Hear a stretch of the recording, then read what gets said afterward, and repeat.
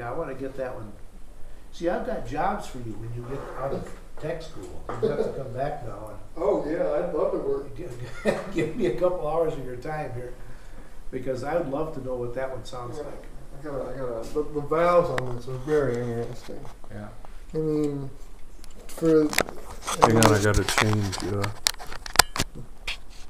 Okay, there. It's, it's pulling, I mean, I, I, I finally understand what the mechanism is doing.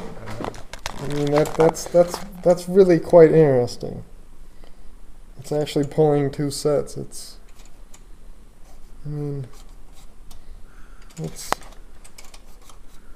yeah.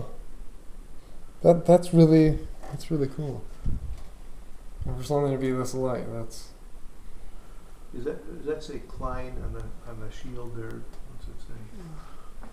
Yes. Yeah. Yes. C. Klein. Hand hammered, I'm guessing.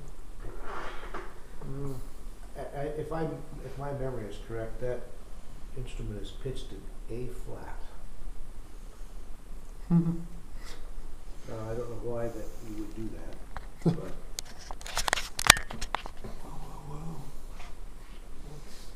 So there could be your first project and you get that, get that rotor unstuck. See, I'm not a technician and I don't mess with that sort of thing. There you go, Ian. Absolutely overclocked. Topical idea.